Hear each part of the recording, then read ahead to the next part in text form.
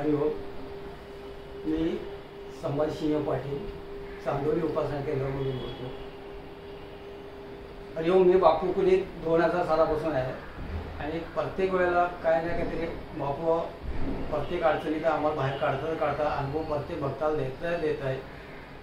आणि चांदोली उपासना केंद्र चालू झाल्यापासून मी संपर्क सेवक म्हणून मी सेवा बापू आणि ती वेळी बापडी सेवा करून घेतात बापू माझ्याकडून. आणि हो, परवा एक गेल्या महिन्यातच मी अनुभव सांगतोय. असे प्रत्येक वेळेला अनुभव आलेले आणि हा ताजा ताजा गेल्या महिन्याचा एक अनुभव सांगतो. आम्ही दोघं भाऊ भाऊ विभक्त झालो. विभक्त झाल्यामुळं शेती शेती संपूर्ण घरदार हे संपूर्ण वाटणी करून घेतलं. आणि शेती माझी करायला तिथं कोणी तयार नाही. आम्ही गेल्या महिन्यात सुनीता विरा आणि मी गेल्या महिन्यात जाऊन शेती करून करते का ते चौकशी करण्यासाठी गेलो होतो पण शेती करायला तिथे कोणी नाही.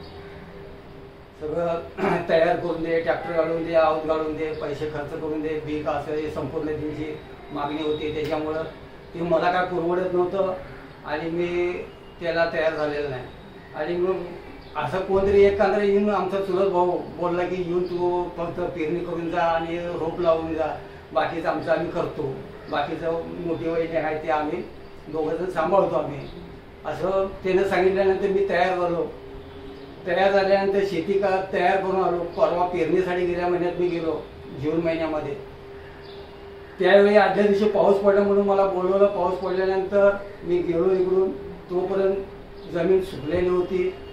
वाळल्या पेरणी झाली त्याच्यामध्ये. मला टेन्शन आलं. आणि टेन्शनमध्ये तसा जो मी एक दिवस राहिलो दुसऱ्या दिवशी पाऊस पडला नाही पेरणी पेरणी केलेली संपूर्ण वायपळ जाते असं टेन्शन होतं.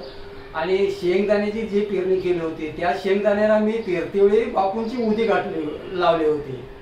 आणि बापूंचा विजय मंत्र म्हणून मी पेरायला सुरुवात केली होती. पहिल्याच वर्षी सुरुवात केली होती. आणि त्या दिवशी पेरणी बरोबर झाली नाही म्हणून माझ्या डोक्यामध्ये टे विचार तेच टेन्शन ते टेन्शन होतं.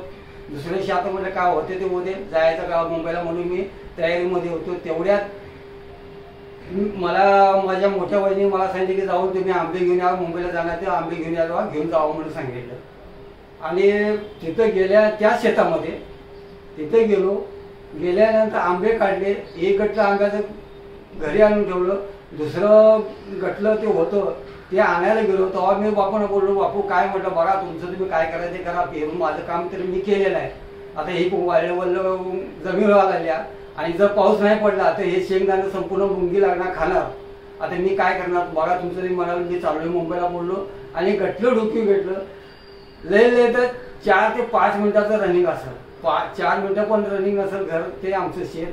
एवढ्या याच्यात मला एवढा पाऊस आला एवढा पाऊस आला की संपूर्ण भाग आमचा पाणी पाणी पाणी करून टाकला. आणि पाणी पाऊस पडलेला एवढा बघितला एवढं एवढा आणि मनाला आनंद वाटला की खरोखर बापू आपल्या प्रत्येक क्षणाला बापू माझ्या संघ असतो प्रत्येक शब्द आणि शब्द माझा ऐकतो.